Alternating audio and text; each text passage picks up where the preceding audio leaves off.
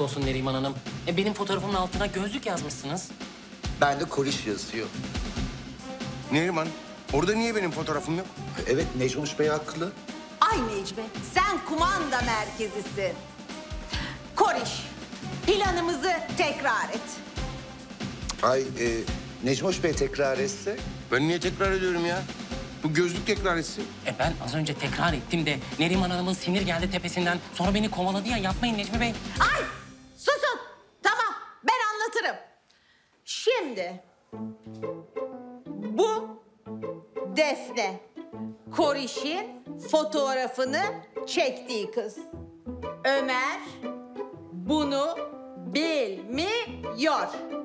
Evet bunu kimse bilmiyor. bir tek Koray biliyor. Ya dur o bir şey de şuna. Emredin Neriman Hanım. Shut up. Ya kapayın çenenizi. E, e, peki bu, bu ortadaki ne Neriman? Bu lansman gecesi. Bu nasıl lansman ya? Ay evet Necmuş Bey haklı. Ya bilmiyor musun mahvetti o pis Yasemin. Ay, değil mi? Geldi bozdu lansmanı. İyi, sinir etti sinir. O Yasemin yok mu o Yasemin? Neriman hadi konuya dönelim artık. Ah, e, ay tamam tamam. Plan şu. Lansman gecesi büyük bir şokla aniden o herkesin merak ettiği çok gizli mankeni ortaya çıkarıyoruz.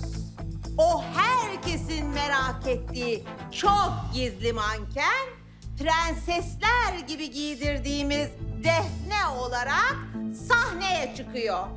Koriş, bu görev senin.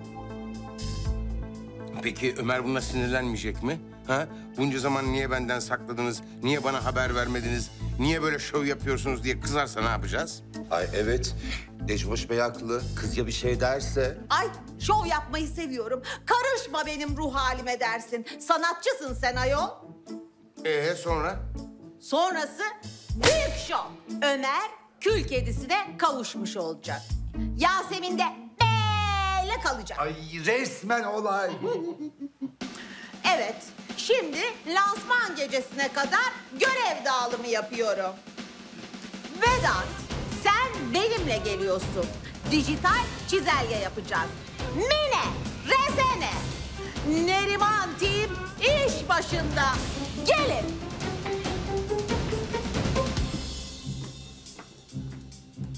Pes doğrusu. Pes. Neriman her seferinde level atlıyor. Bu sefer beni şaşırtamayacak diyorum ama yine şaşırtıyor. Ay çok haklısınız Necmuş Bey. Vallahi haklısınız.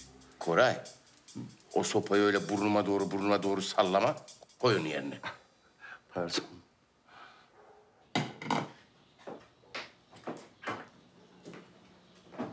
Günaydın. Günaydın Ömer Bey.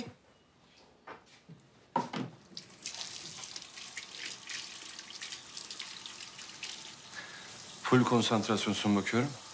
Öyle. Kahvaltı hazırlamak ciddiyet ister. Ciddi bir iş. Ben yanımda benden başka ciddi birini istemem. Açık konuşayım. Vallahi şansınızı zorlamayın isterseniz. Yoksa birazdan çirkin çirkin fıkralar anlatmaya başlayabilirim. Tamam tamam abartma. Sen bu saatte kahvaltı yapmıyordun değil mi? Yok. Ben bu saatte ancak beynimi uyandırabiliyorum. Midem hala uyuyor. Bünyem de işte bundan iki saat sonra falan kendine geliyor. Genelde yani.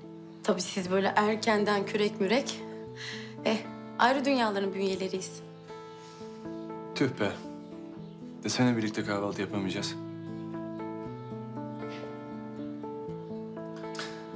Ya da ben geç uyanmayı öğreneceğim. O yıldızlı gökler ne zaman başladı Kolay gelsin. dönmeye kimse bilmez kimse bilmez